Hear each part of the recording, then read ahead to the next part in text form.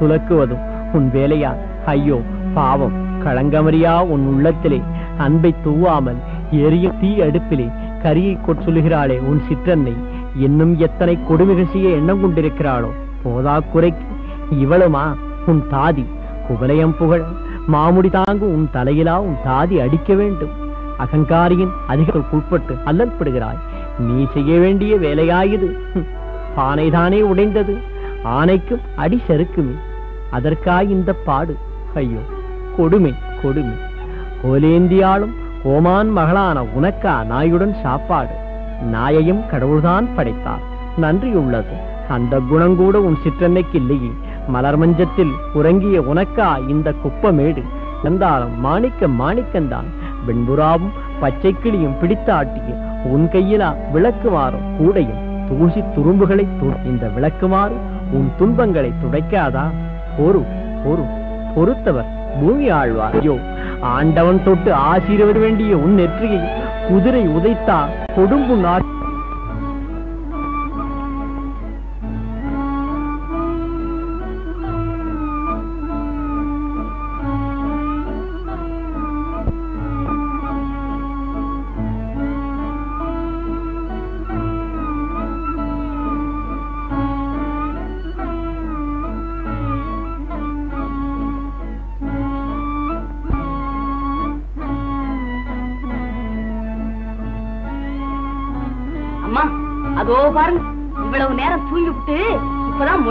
சாப்பிட்டு வரா.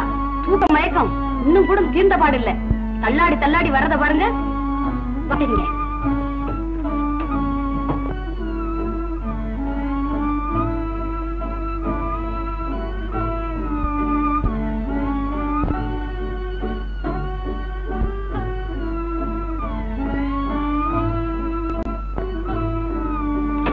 என்ன இளையராணி? தண்ணீர் இழைத்து ரொம்ப களைத்து விட்டீர்களோ? இப்படி ஆமை போல நடந்து வந்தால் பாக்கி வேலை எப்ப முடிக்கிறது?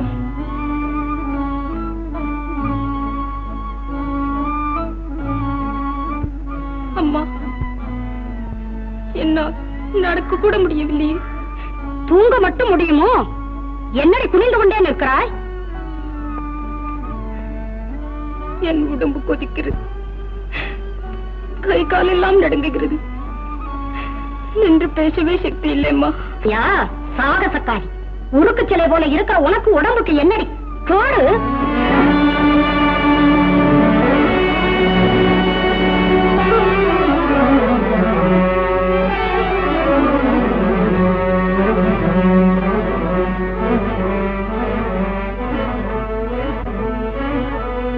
என்னடி இது?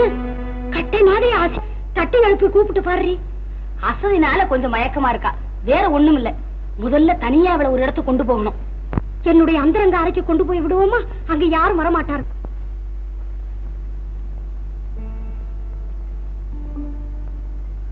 ஏண்டி அடி பலமாய்ப்பட்டிருக்குமோ அவ படுத்திருக்கிறத பார்த்தா எனக்கு என்னமோ பயமா இருக்கிறதே. பயப்பட முடியாது ஒண்ணு இல்லம்மா. இன்னும் கொஞ்ச நேரத்துல மயக்கம் தெளிஞ்சிடும். மயக்கம் தெளிந்தாலும் மன்னர் வந்தால் இதெல்லாம் தெரியாமலா போகும்? அப்படி போய் துணிஞ்சு சொல்ல. இந்த அரண்மனையில யாருமா இருக்காங்க? சொல்லித்தானே தெரிய வேண்டும். இவளை பார்த்ததுமே பளிச்சென்று தெரியுமே. அதை இப்ப நினைச்சு என்ன பிரயோஜனம்? அப்பவே நல்ல யோசனம்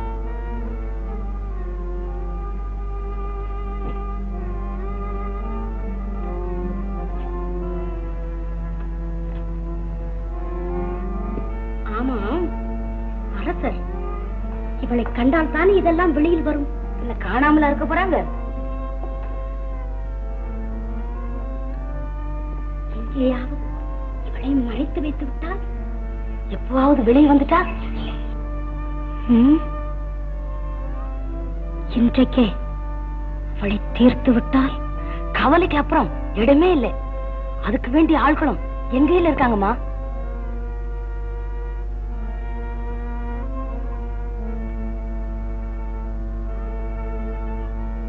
நினைவு வருவதற்குள் மயக்க மருந்தை கொண்டு வா சீக்கிரம்.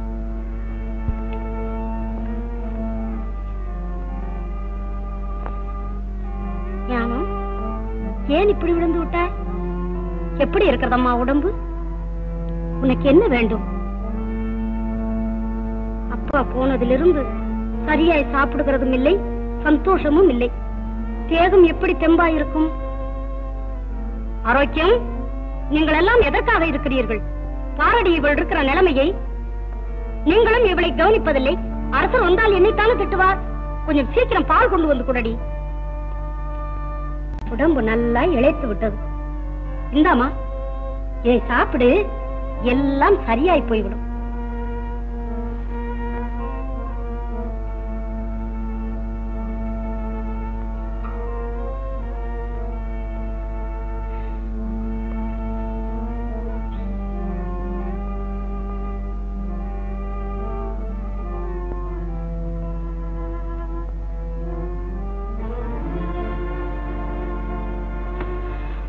மருந்த மயங்கி கிடக்குறா சீக்கிரம் கொண்டு போய் காரியத்தை முடிச்சிருங்க.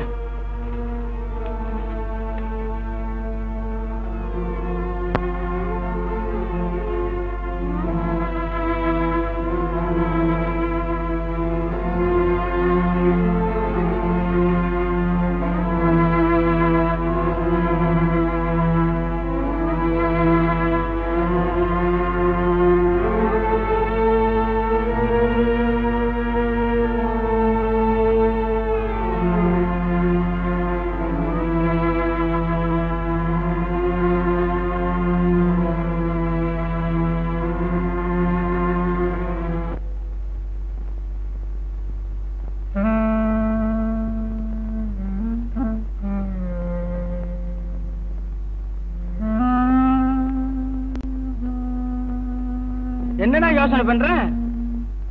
குலதெய்வம் போல இந்த பொண்ணை எப்படிதான் நம்ம கொல்றது? பொள்ளாட்டி போனா ராணிக்கு என்னடா பதில் சொல்றது?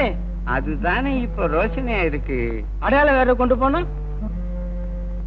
ஏண்டா வேணும்னா கைய மட்டும் வெட்டி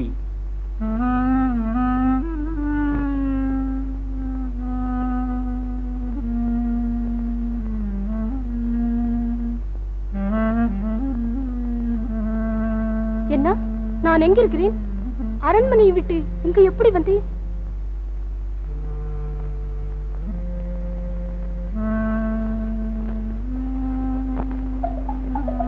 என்னடா சத்தம்?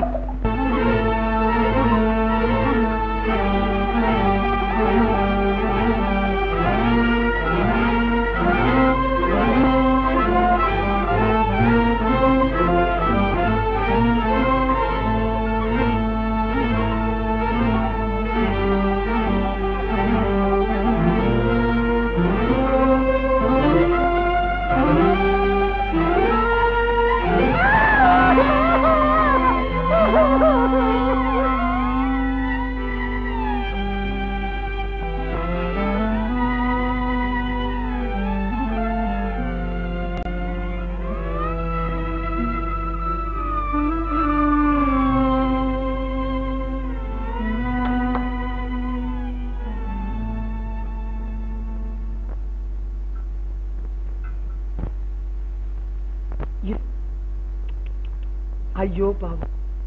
இவளை நமது கூடாரத்திற்கு எடுத்து வாருங்கள்.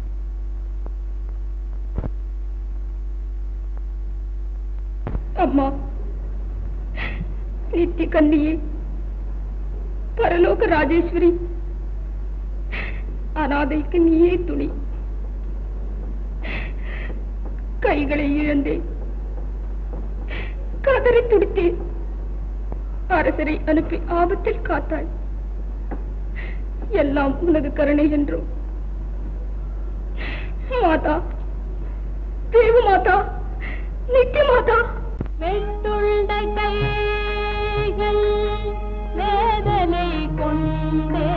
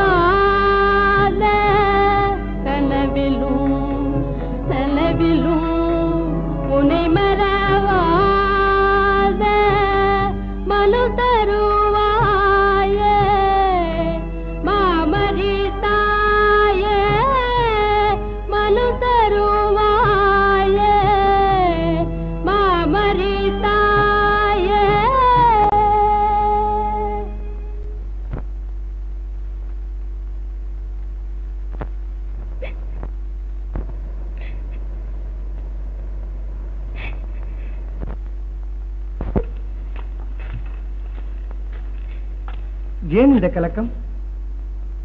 வேதனை அதிகமா இருக்கிறதா உனக்காகத்தான் பச்சிலை பறித்தவரை வெளியே சென்றிருந்தேன். வீணாக கண்ணீர் சிந்தாதே. ஏற்கனவே ரத்தம் சிந்திய உடம்பு. அழுதழுது மேலும் அவஸ்தைப்படாதே.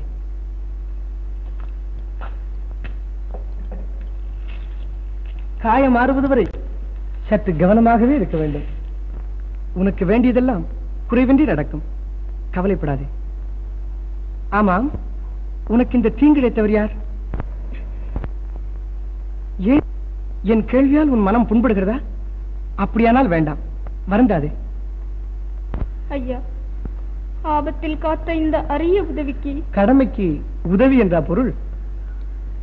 ஏதோ கைமாறு செய்ய சக்தியற்றவளா இருக்கிறேன் நீ சக்தி பெற்று எழுந்தாலே போதும்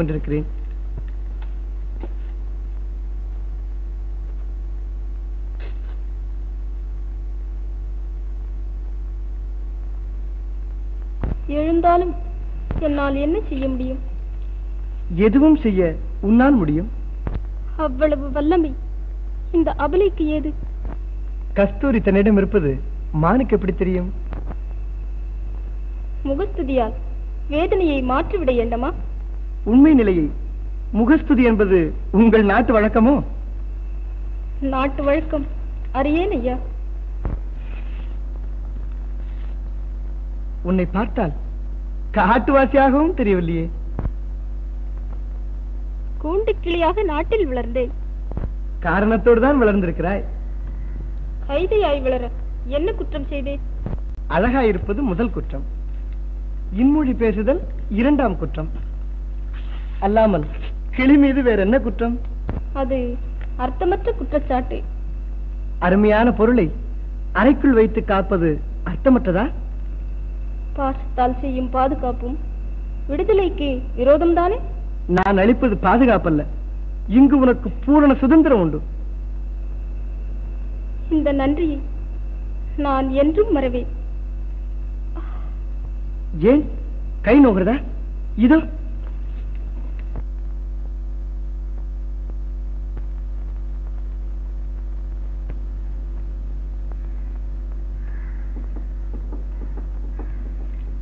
அம்மா நீங்க சொன்னபடியே காரியத்தை முடிச்சு அடையாளம் கொண்டு வந்து விட்டோம். சரி இந்த விஷயம் மட்டும் வெளியில் வந்ததோ?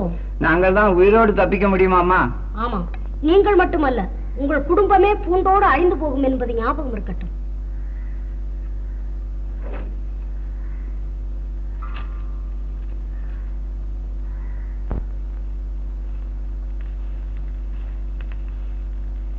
இதோ இதை கொஞ்சம் சாப்பிடு.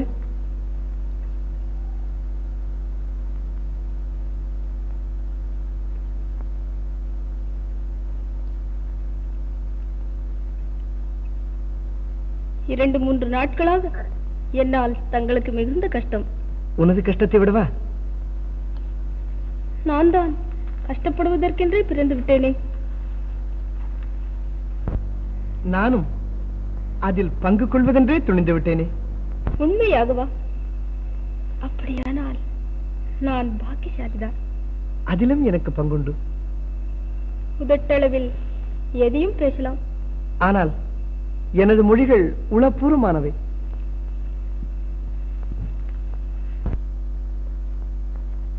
ஆடவர் உள்ளம் பச்சொந்து என்பார்களே. ஓஹோ பெண்களின் உள்ளம்? அது முதலை போன்றது. முதலையின் சுபாவம் மூர்க்கமாயிற்றே. இல்லை இல்லை. அது கொண்டது விடாத குணமுடையது. மின்னுவதெல்லாம் பொன்னாய் விடுமா? அப்படி என்றால் எல்லா சிப்பியிலும் முத்தி இருக்குமா? அப்படியானால் என்னை வெத்து சிப்பி என்று எண்ணி விட்டீர்களா? இல்லை இல்லை. எல்லா ஆடவர்களும் பச்சோந்தியாய் இருக்க மாட்டார்கள் என்பதை எடுத்துச் சொன்னேன். அடே அப்பா உங்கள் அறிவு மிகுந்த ஆழமுடையதுதான்.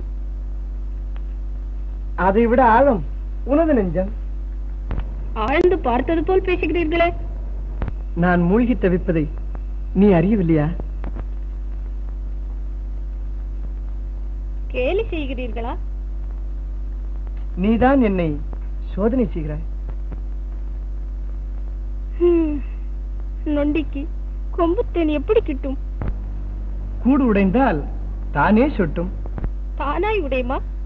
நானே உடைப்பேன். எப்படி முடியும்? அதை அப்புறம் அறிவாய். சரி உன்னுடைய பெயர் என்ன? ஞான சுந்தரி ஞான சுந்தரி ஆஹா அறிவிற்கும் அழகிற்கும் ஏற்ற பெயர்தான்.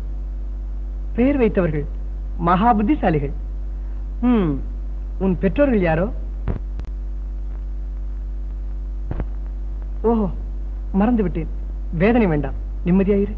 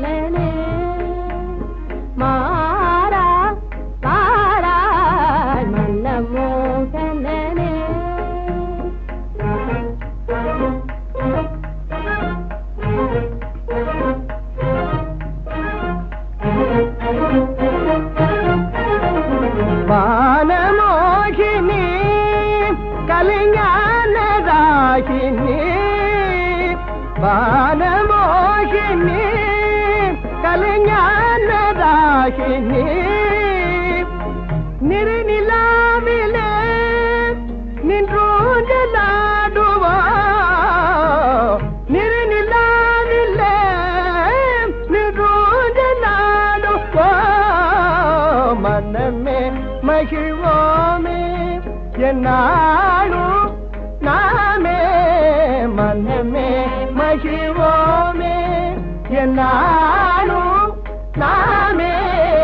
மனமே மகிழ்வோமே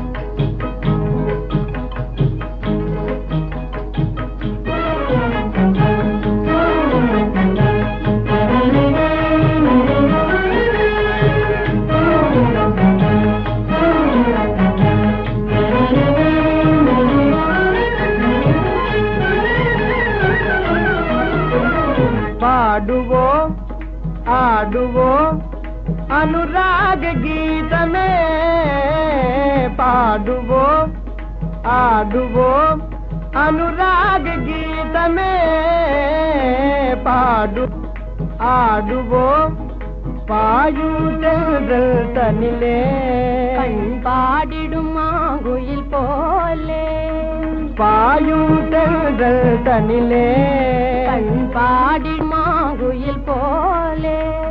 பாங்குடன் நாமே பூங்கொடி போலே. பாங்குடன் நாமே பூங்கொடி போலே.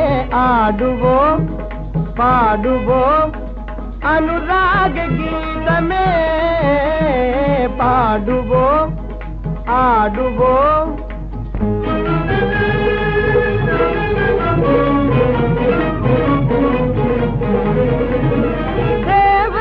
तपोह में महाजीव भाग्यवश में देव सुगभोग में देव सुगभोग में பெருமாள் காதல்லலமே பெருமாவல் காதல்லலமே நிஜ அல்பின் இல்பங்கண்டோமே பெருமாவல் காதல்லலமே ಅಲ್ಬಿನ್ ಜೀವ ಕಂಡೋಮೆ ನಾಮೆ ಪಾಡುವೋಂ ಆಡುವೋಂ ಅನುರಾಗ ಗೀತಮೇ ಪಾಡುವೋಂ ಆಡುವೋಂ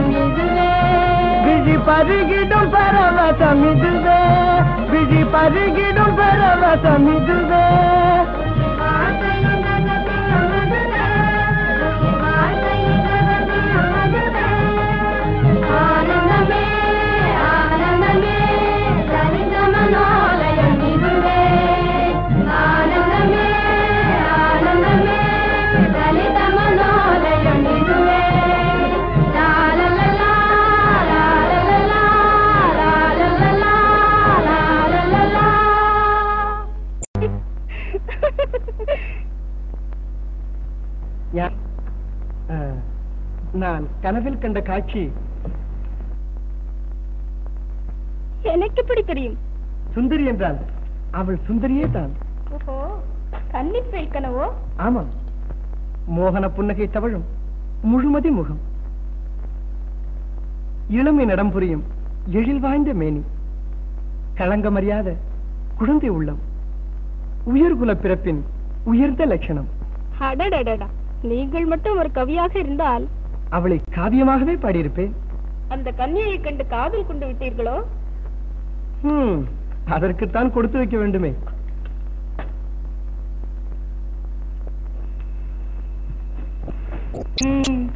பிறகு? அவளை மணக்க விரும்பி வரலாறு கேட்டேன். சொல்ல முடியாமல் கண்ணீர் விட்டாள். நானும் அவளை வற்புறுத்தாமல் விட்டு விட்டேன் அவள் வேறையாவது கேட்டீர்களா? கேட்டேன். என்னமோ சுந்தரி என்று சொன்னார்.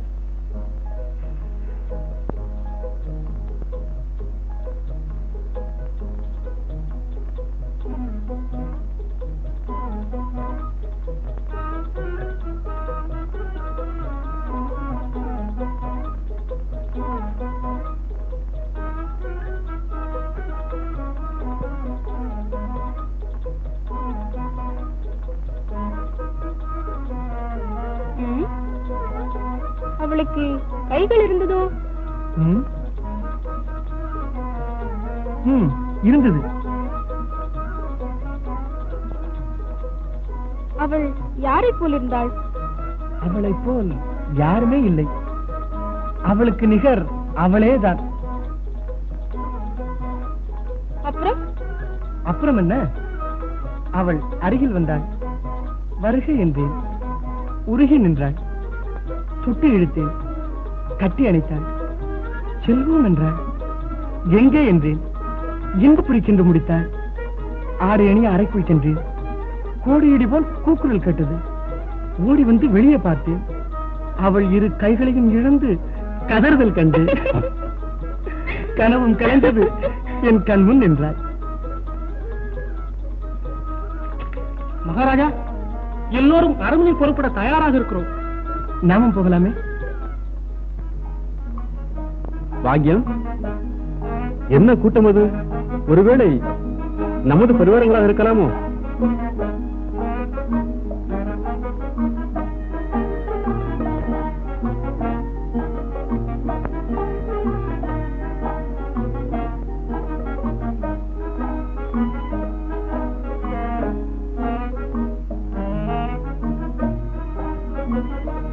அடே சென்று வருவது யாருன்னு பார்த்து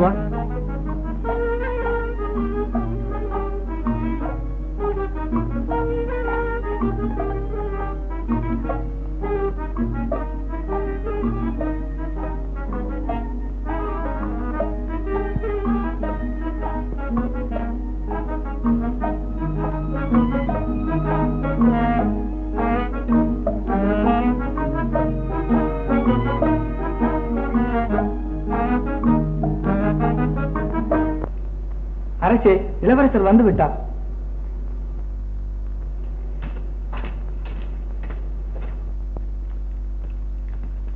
அம்மா? கண்ணே. நம் கண்மணி பிளேந்தரை பார்த்தீர்களா? வெயிலிலும் மழையிலும் வேட்டையாடி மெலிந்து விட்டானே. வேட்டை என்பது வேடிக்கையானதா? கல்லிலும் முள்ளிலும் ஓடியும் ஒளிந்தும் எவ்வளவு கஷ்டப்பட வேண்டும் தெரியுமா? ஆனால் பட்ட கஷ்டத்திற்கு பலனும் கிடைத்தது. என்ன பலனப்பா?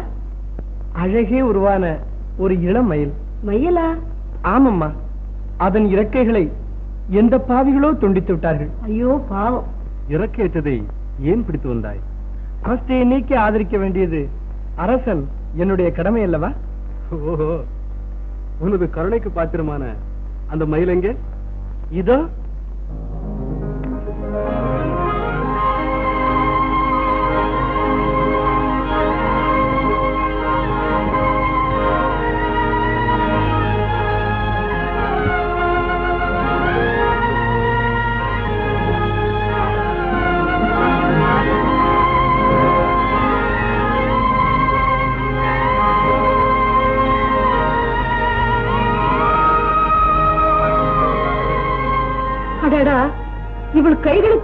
துண்டித்த யார் அதை மட்டும் கேட்காதீர்கள் அம்மா. தோகை தூண்டுவிடும் ஐயோ பாவம். அழாத அம்மா. கன்னிமரியாளின் கருணையால் தான் நீ இங்கு வந்து சேர்ந்தாய். உன்னை பெற்ற தாயிலும் உற்ற தாயாக நான் காப்பாற்றுகிறேன். நீ கவலைப்படாத. வாம்மா.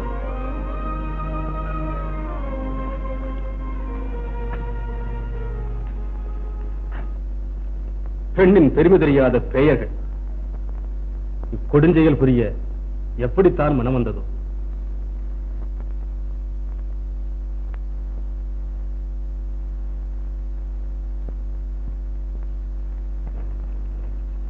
அம்மா அரசர் வேட்டைக்கெல்லாம் போய் திரும்பி வந்துட்டாங்க. நேரா இங்கதான் வராங்க. வந்து விட்டாரா?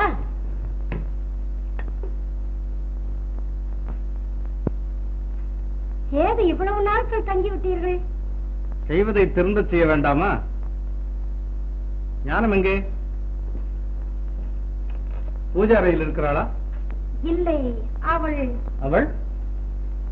தாங்கள் போனது முதல் பிடித்த அழுகை. ஏங்கி மிகவும் இழைத்து விட்டாளா? பாவம் அவளை அப்படியே விட்டு சென்று விட்டேன். நானும் வேண்டிய மட்டும் ஆறுதல் சொன்னேன். கேட்டால் தானே? அது சரி இப்போது எங்கே அவள்? விவரமாக சொல்லுகிறேன். காட்டுக்கு போய் களைப்போடு வந்திருக்கிறீர்கள். தாகத்துக்கு ஏதாவது? அரண்மனை தீப்பிடித் தெரியும் போது அங்கு ஒருவன் வீணை வாசித்த கதையா இருக்கிறது உன் உபச்சாரம். கண்மணி எங்கே என்றால் கதையா பேசுகிறாய். உண்மையாக இரவு முழுதும் உங்களுக்காக தூங்காமல் கூட கண் விழித்திருந்தேன். உன்னை பற்றி கேட்கவில்லை. என் செல்வம் எங்கே? இரவில் கதை கேட்டுக்கொண்டே. என்ன பசப்புகிறாய்? இல்லை என் பக்கத்தில் தான் படுத்திருந்தாள். கேட்பதற்கு மட்டும் பதில் சொல். காலையில் பார்த்தேன். காணவில்லை. என்ன சொன்னாய்? உடனே நமது படை வீரர்களை எல்லாம் நாலா திசைக்கு அனுப்ப செய்து கஷ்டப்பட்டு தேடியும் காண முடியவில்லை நாதா? காணவில்லையா? காணாமல் போவதற்காக என் கனகமணி செல்வத்தை உன் கையில் ஒப்படைத்து காட்டுக்கு சென்றேன். அரண்மனை தவிர அயனட மரியாதையின் அருமை குமரி அர்த்தராத்திர வேளையில் அந்த மார்க்கமாய் மறைந்து விட்டாளா பாதகி உன்னை கண்டம் கண்டமாக வெட்டி கல்லறைக்குள்ளில் புதைத்தால் தான். கொஞ்சமும் அஞ்சாமல் என்னிடமே வந்து காரணம் என்று சொல்லுகிறாயா? சண்டாளி என் ஜீவனாரியே ஒடுங்குகிறது. என் உயிருக்கு உலகித்து விட்டாயே. அன்னையில்லா குறை நீங்க வேண்டும் என்று என் வாயில் மண்ணை போட்டு விட்டாயே.